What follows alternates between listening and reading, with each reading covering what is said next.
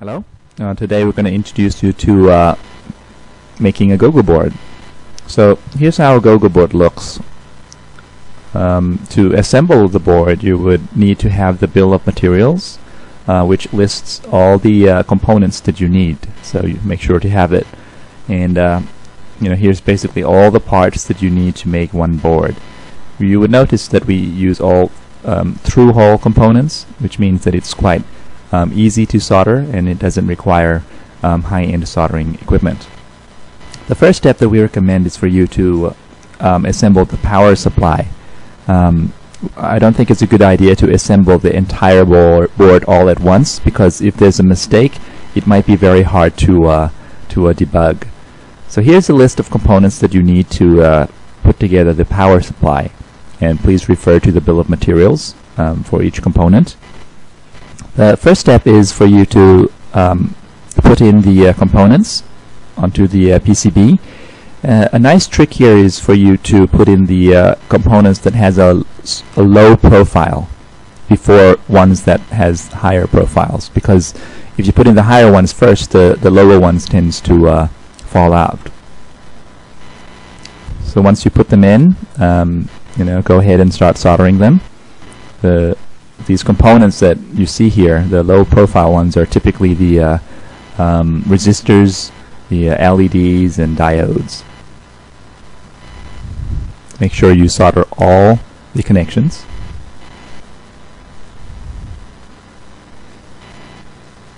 So once you've soldered everything, uh, it's a good idea to cut off all the excessive leads. It'll make um, further soldering more convenient. Okay, so the next step is to install the remaining power supply components and you would notice that these are ones with higher profiles such as uh, capacitors, um, inductors, the on-off switch, and the actual um, regulator IC. And once you have everything in, uh, go ahead and solder them. And there's this this one component here. Uh, that's the uh, regulator IC. The pins are quite close to each other, so please um, be careful not to short circuit it. So once you've um, soldered everything, um, the best way to test it is to plug in the uh, power, turn on the switch, and if the green LED lights up, it means you have a working circuit.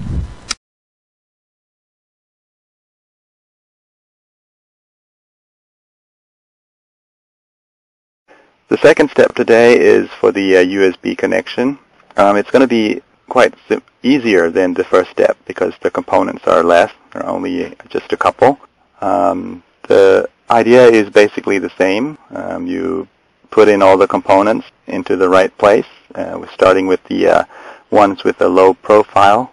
Solder them to the board. Um, trim off any remaining um, pins and then you put in the uh, actual USB connector and solder that as well. And once you're done with that, um, there are a couple more components that you have to put in, and the process is basically the same. And once that is done, uh, it's time for some uh, quick testing. So we will plug in the USB cable and then switch on the power switch. And if the green LED lights up, it means that your board is receiving power through the USB connection and it's probably safe to assume that the connection is now working. So that's the end of step two. Uh, step three is the uh, uh, microcontroller unit itself.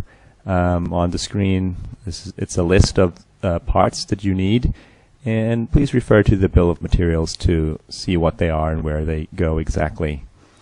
Um, the assembly process is pretty much the same. Um, you put in put in all the parts, um, and remember, put in the uh, the the lower profile ones first.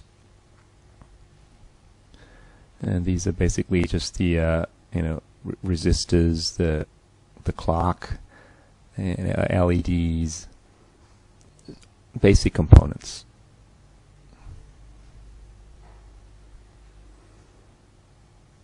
Just solder them as usual clip off all the uh, access leads. Now, the second part of of this step is to put in the uh, socket. Now you would notice that you know soldering the socket seems like a lot of work, but once you get it going, it's it's pretty quick. Okay, then it's the run button and the beeper. Solder those on. And the last thing to do is to put in the uh, pre-programmed microcontroller. Now it needs to have the uh, GoGoBoard firmware on it. And then you're ready to test it. If you turn it on and you hear two beeps and you see the yellow LED blinks twice, it means you're good to go. Step 4 is quite simple. It's the I squared C port and it's the port that you use to communicate with add-on modules. Uh, only a few parts here. Um, you basically remove the microcontroller and uh, insert the uh, uh, the resistors required. Um, you don't really need to um, assemble all these parts if you don't plan to use add-on modules, but it's it's a good idea just to have them there just in case. Um, okay, so these are the uh, I squared C connectors. There are two sides. Um, just put female connectors in and solder them. Quite simple. So next we will um, put the microcontroller back in and test um, the port. Uh, so power on the board and plug in a 7 segment add-on module if you have one. So there are two sides of the connector. Make sure they go in properly and try to turn on the uh, display. If it turns on, it means everything's okay. All right, end of step four. Thank you. In this uh, fifth step, you will be assembling the sensor port. And uh, you need the sensor connectors, the infrared receivers, and a few other parts. And the uh, assembly procedure is pretty much the same. You put in the uh, um, lower parts first, lower profile parts, and then the sensor connectors. Um, the only thing to be careful is the uh, sensor port tends to, uh, uh, the connectors tend to get bent quite easily. So please check regularly whether or not they're sticking out straight or not.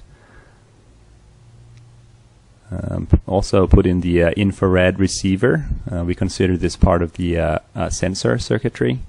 It allows you to receive commands from any Sony compatible remote control. And uh, once you've soldered everything, the testing process requires you to connect to a computer, um, turn it on, and uh, connect to the Gogo board using the Gogo Monitor software. And uh, to connect to the Gogo board, you first need to know which serial port or COM port it, uh, your computer sees the Gogo board as. And you can see that in the uh, device manager. Once you've connected to the Gogo board, you can put in a simple sensor, such as a light sensor, and then click uh, burst on. And you should see a set of bars on the screen. And uh, in the case of a light sensor if you apply light to the sensor um, you will see a change in the sensor readings. And that indicates that your sensor is working. And this is another test using a switch.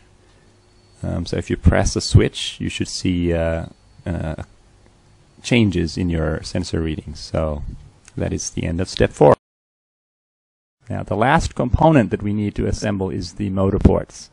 The uh, parts that we need are on the screen and please refer to the bill of materials uh, for further information.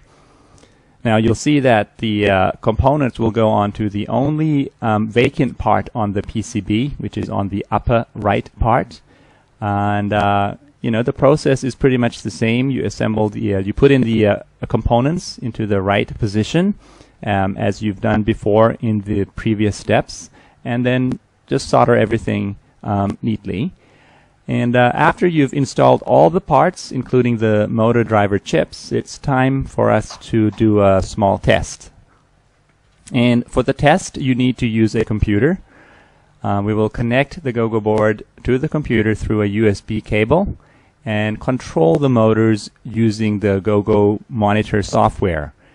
To connect to the GoGo board, you uh, first need to look at the uh, COM port number, like we've done before. Um, that allows you to connect to the GoGo board.